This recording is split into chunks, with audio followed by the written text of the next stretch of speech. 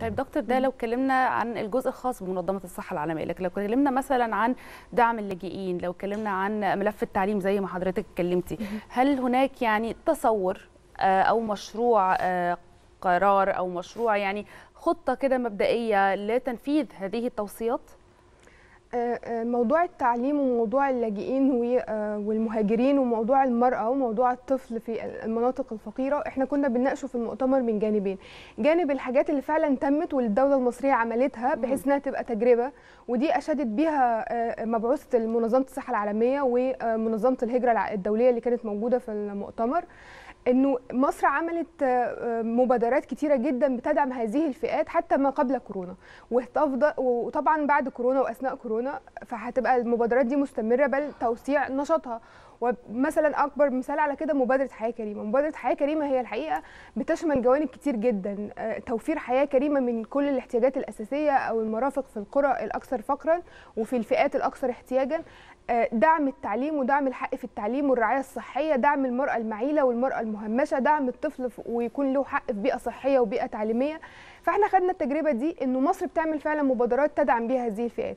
وأكتر من كده فكر لما كنا مبادرة 100 مليون صحة إحنا إحنا مبادرة 100 مليون صحة تحديدا ما كانش فيها أي عدم مساواة إن المصريين أو غير المصريين. إحنا كنا بنلاقي دول أفارقة كتير جدا السوريين والدول العربية أو أو الفئات العربية اللي كانت موجودة في مصر. هي كمان تم التعامل معاها في 100 مليون صحة بشكل عادل مع المصريين كشفت واخذت العلاج وبتتابع للمبادرات الصحية الاكثر من كده.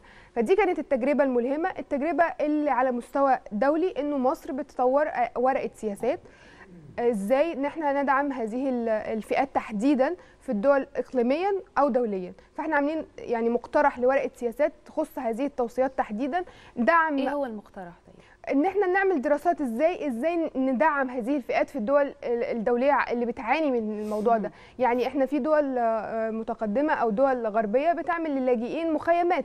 مصر ما عندهاش مخيمات للاجئين. بالعكس هم بيعيشوا وبيندمجوا في المجتمع المصري بشكل قوي جدا وبشكل غير يعني غير ملحوظ. أنت ما تقدريش تلاحظي إن ده مش مصري أو إنه بيتعامل معاملة مختلفة. لكن في دول متقدمة جدا هم بيعاملوهم معاملة معاملة اللاجئين في مخيمات أو المهاجرين بيفضلوا الوقت طويل طويل جدا بيعانوا من يعني تعصبات شديدة جدا في هذه الدول. يكفي إنهم مصنفين أو ان هم تحت يعني تحت كلمة لاجئين أو مزبوط. مهاجرين. طيب خلاص أنا يعني أنا في حاجات كتير جدا حابة أسأل حضرتك عليها بس لكن آه الوقت الحقيقة يعني مش مسعف لينا فبنشكر حضرتك. شكرا جزيلا دكتور آه أمل إسماعيل باحثة في المركز المصري للفكر والدراسات الاستراتيجية. نورتينا صباح الخير. شكرا بشكرك على كل هذه الإيضاحات. شكرا.